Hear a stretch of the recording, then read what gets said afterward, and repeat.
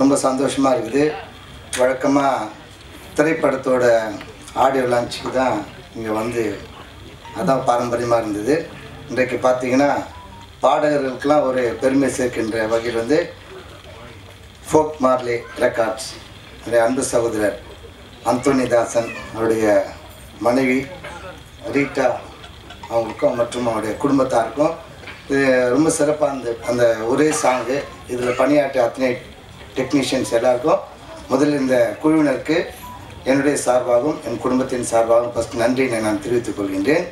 சிறப்பு விருந்தினராக ஆஹ், இங்கே வருகை தந்து இந்த நிகழ்ச்சியினை சீரும் சிறப்புமாக துவங்கி வைத்து அமர்ந்திருக்கின்ற இளைய இயக்குனர் சீன ராமசாமி சார் மற்றும் சித்ராமா மற்றும் எல்லாருக்கும் ஏன்னா பேர் எல்லாரையும் சொல்லிட்டார் அவர். ஆரம்பத்திலே சொல்லிட்டாங்க எல்லாரும். அதில் பாடகர்கள் பாடகிகள் மற்றும் இயக்குனர்கள் நடிகர்கள் கலைஞர்கள் எல்லாருக்கும் இந்த நேரத்தில் பத்திரிகை மற்றும் ஊடக நண்பர்களுக்கும் நன்றியினை நான் தெரிவித்துக் கொள்கின்றேன். கானா பாட்டு பாடும் அப்படின்னு சொல்லிட்டு என்னை வர்ணிச்சாங்க. சிஸ்டர் பேருமா? கவிதா மேடமுக்கும் என்னுடைய சகோதரர் பாலா அவங்க இந்த நேரத்தில் ரொம்ப சந்தோஷமா இருந்தது. ரொம்ப ஒரு சந்தோஷமா இருக்குது. நான் ஏற்கனவே சொன்னார் பதினாறாம் தேதி நிகழ்ச்சியின் அந்தோனி சொன்னோன்னே நான் எந்த நிகழ்ச்சியை நான் வந்து அன்னைக்கு கமிட் பண்ண மாட்டேன். நான் கண்டிப்பாக வரேன்னு சொன்னார். அழைப்பு இதை தர வர அப்படின்னு சொன்னார். நான் வேசார்பேட்டில் இருக்கிறேன். பரவாயில்லண்ணா நீங்கள் எனக்கு வாட்ஸ்அப்லேயே அனுப்புங்கன்னு சொன்னேன்.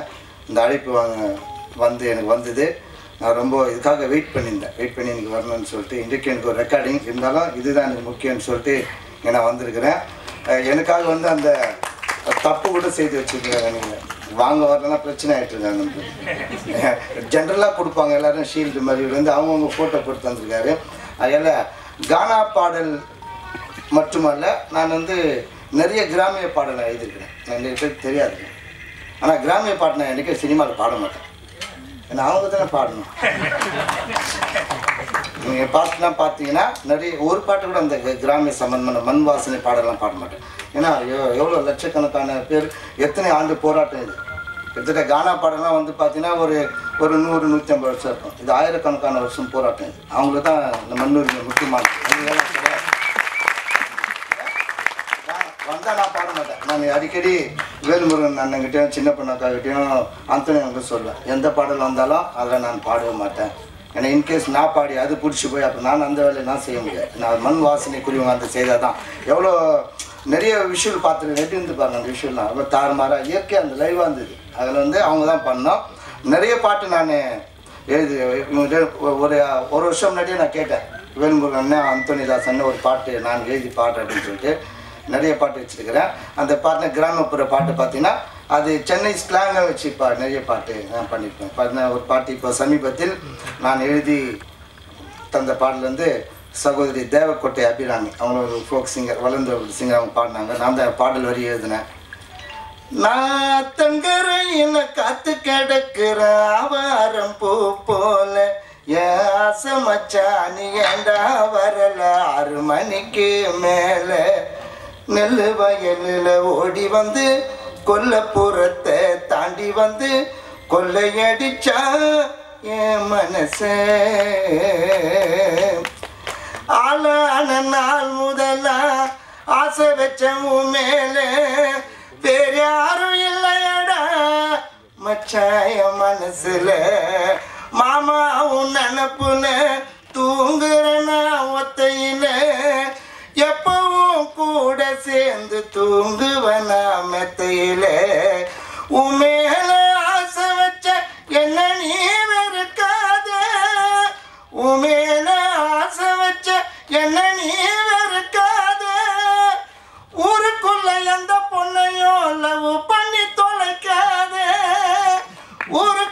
எந்த பொண்ணையும் லவ் பண்ணி தொலைக்காத.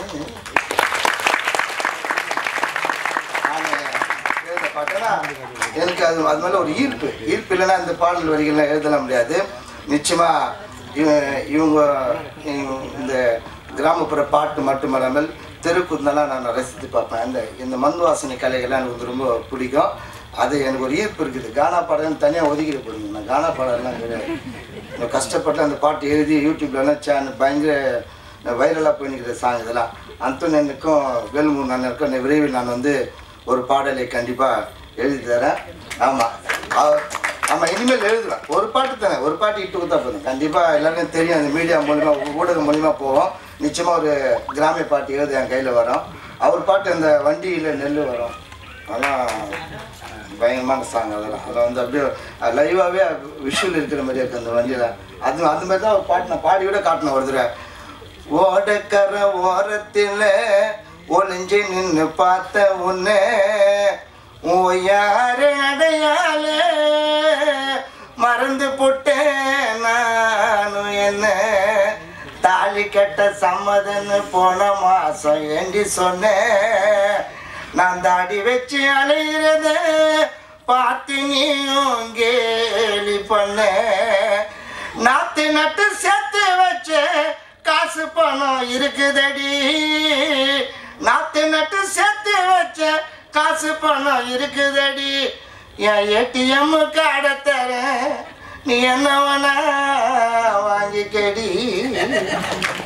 இந்த பாட்டு அவங்க எழுதி வச்சிருக்கிறேன் இந்த பாட்டு இவங்களை நிச்சயமாக ஃபோக் மாதிரி ரெக்கார்ட்ஸில் கூட இந்த பாடல் பதிவாகும். எனக்குலாம் பணம்லாம் தேவையில்லை. நான் பாட்டு தந்துடுறேன் எழுதி தரேன். பணம் கொடுக்கணும்.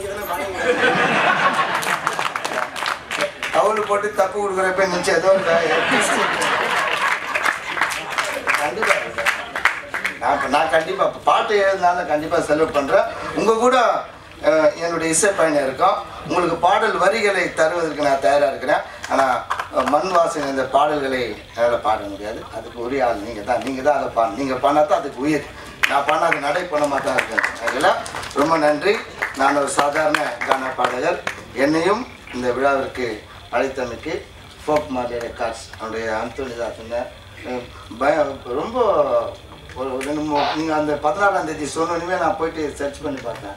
நீங்கள் அசால்ட்டாக நிற்கிறீங்க சின்ன ஒரு சார்ட்ஸ் போட்டிங்கன்னு கூச்சமே பண்ணல அப்படியே நிற்கிறார் அந்த இவங்களும் பக்கத்தில் நிற்கிறாங்க யாரையும் பார்க்கல அவர். அந்த பாடல் அந்த அந்த அந்த அந்த மாதிரி தான் ஈர்ப்பார். இப்போ நாங்களாம் கானா பாட்டு பாடுறப்போ ஒரு மரண வீட்டில் பாடுவோம். நாங்களாம் ஃபேன் ஷர்ட்டு போட்டு போட்டு போய் தான் பாடுவோம். எல்லாம் ஒன்றுமே இப்போ உடம்பு அப்படியே இருக்குது வெறும் ஒரு சின்ன சாட்ஸ் மாதிரி இப்போ போட்டுக்கணும் அது ஒரு கலரே ஒரு மாதிரி மிட்டாய் கலர் மாதிரி இருந்தது பார்க்குறப்போ அவங்களும் அதை பற்றி பைப் இல்லை இவரு மனைவி மாதிரியும் தெரியல. அவங்க புருஷன் மாதிரியும் தெரியல. இவங்க ஜாலியாக அந்த சீனில் நீ யாரோ ஏதோ அட்வான்ஸ் கொடுத்து புக் பண்ணது மாதிரி நினைக்கிறீங்க ரெண்டு பேருமே. அதெல்லாம் அதெல்லாம் நான் ரொம்ப நல்லா என்ஜாய் பண்ணேன். இதுல நிறைய உலகமெங்கும் ஆல்ரெடி போயிடுச்சு. பார்த்தீங்கன்னா பறவை முனியம்மா அம்மா பாடியிருக்காங்க. கிடாக்கோடி மாரியம்மா அம்மா பாடியிருக்காங்க. தஞ்சை அக்கா நிறைய பேர் பாடியிருக்காங்க. ஆந்திரகுடி ராஜா வேல்முருகனை மற்றும் வந்து நம்ம ஆக்காட்டி ஆறுமுகனை மகாலிங்கம் எல்லாம் பாடுறாங்க. அதில் வந்து அந்த வரிசையில் இன்னும் நிறைய பாடல்களை உருவாக்கணும். இது இதோட முடிஞ்சிடக்கூடாது. பிரசாத் லேபோட முடிஞ்சிடக்கூடாது. நம்ம இது வந்து நிறைய தெரியப்படுத்தி நிறைய கலைஞர்களை வரவைங்க நிறைய பேர் ஏக்கமாக இருக்கிறாங்க பாடணுன்ட்டு.